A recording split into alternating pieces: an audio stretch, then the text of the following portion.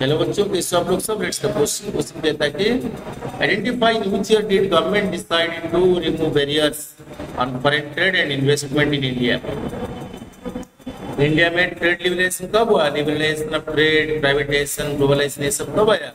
privatisation globalisation जब ज़्यादा true spirit में, ज़्यादा एम्फसाइज हुआ लिबरेशन प्राइवेटाइजेशन ग्लोबलाइजेशन का एरा वो हम देखेंगे कौन सा ईयर तो 1991 और जानते हैं 1991 को बोलते हैं पीजी एरा रिफॉर्म हुआ